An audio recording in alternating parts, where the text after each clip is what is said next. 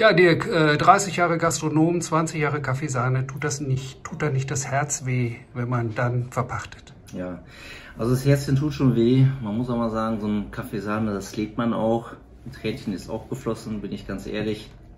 Äh, man gibt ein gutes Unternehmen ab ähm, und man möchte auch mit dem Personal, was man, ja, ich sag mal so das halbe Leben so einbegleitet hat und äh, man darüber redet. Äh, es ist irgendwo hart, aber es geht äh, auch weiter. Es geht auch im gleichen Stil halt weiter. Wir haben uns ja mit äh, Filigran zusammengetan und die beiden haben äh, so tolle Ideen oder sowas, äh, wie man das schön ähm, ja, äh, noch verbessern kann und sowas. Und hier und da wird man eine kleine Veränderung gehen, auf jeden Fall äh, zum Positiven.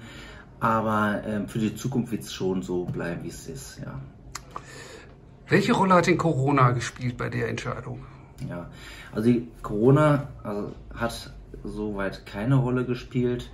Ähm, ob wir das jetzt vorgezogen haben oder das nächstes Jahr machen wollten oder sowas.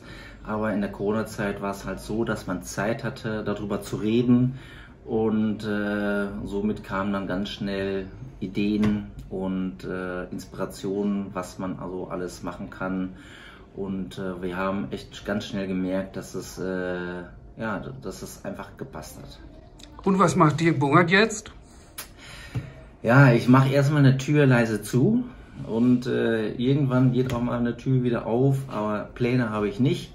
Ich möchte schon äh, dieses hier so ein bisschen begleiten. Wie gesagt, das Herz hängt da dran und äh, äh möchte es auch schon ordentlich übergeben. Äh, es werden ganz viele Fragen kommen. Also ich gebe jetzt nicht nur den Schlüssel ab, sondern ich bin noch hier und ich bleibe auch hier und äh, äh, ja, man wird sich trotzdem weiterhin sehen. Erstmal habe ich nichts geplant. Nein. Ja, jetzt haben wir hier die Neuen im Café Sahne, das Ehepaar Löber vom benachbarten Filigran. Was hat Sie denn dazu bewogen, ähm, jetzt auch sozusagen noch eine zweite, eine zweite Gastronomie aufzumachen? Ja, wir sind äh, mit Dirk äh, ins Gespräch gekommen jetzt in den letzten Wochen und so hat sich das dann einfach aus dem Nachbarschaftsgespräch so ergeben.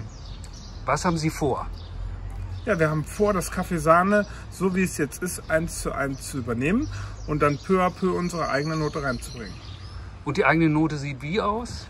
Die eigene Note sieht tatsächlich so aus, wie man es ja auch ein bisschen aus dem Filigran kennt, äh, dass wir, wir bieten da ja eine hochwertige Küche an und äh, hier im Café Sahne ist im Abendgeschäft noch viel Luft nach oben und da möchten wir dann gerne das Filigran so ein bisschen mit reinkriegen. Aber ansonsten bleibt im Café Sahne alles so, also Öffnungszeiten äh, und auch die Karte und natürlich der Kaffee, der Kuchen und die Gutscheine. Genau, die Gutscheine auf jeden Fall auch. Ansonsten bleibt alles tatsächlich, dass es hier losgeht mit Frühstücken, damit Mittagessen, Kaffee trinken und Abendessen. Bleibt alles so, äh, wie es beim Alten ist, genau. Ja, Frau Lubber, was machen Sie denn dazu? Was sind die Pläne? Ja, wir haben auf jeden Fall schon eine kleine Aufteilung uns überlegt. Also ich werde weiterhin im Casino ähm, das Gesicht des Casinos äh, bleiben. Ich kümmere mich um die Mitglieder, um Veranstaltungen und äh, das ist auch das, was wir da noch voranbringen möchten. Natürlich auch das Restaurant. Und äh, so haben wir auch ein bisschen unsere Bereiche neu abgesteckt und ähm, ja, freuen uns auf das, was jetzt kommt.